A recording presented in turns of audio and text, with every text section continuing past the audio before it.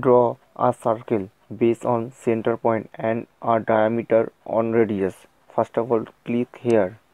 C enter. C for circle. And after click here give some distance. Suppose 12 meter. Enter. Okay again C enter 2 P enter 2P means two points 1 and 2 okay done again C enter 3P enter 3P means 3 point 1 2 3 okay? Okay.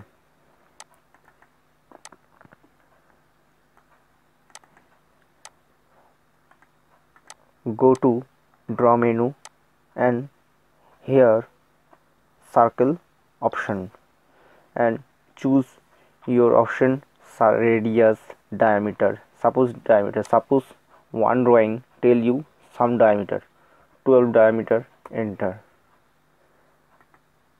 Okay.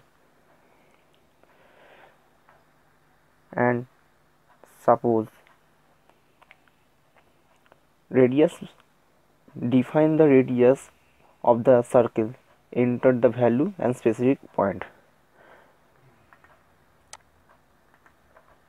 2 point 3 point and tan tan radius is I tell you okay one minute. Again I draw a circle.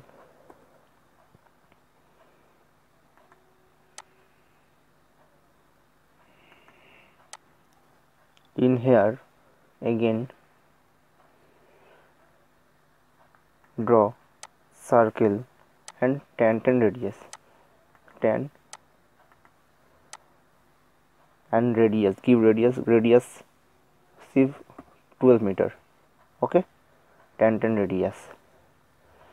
Okay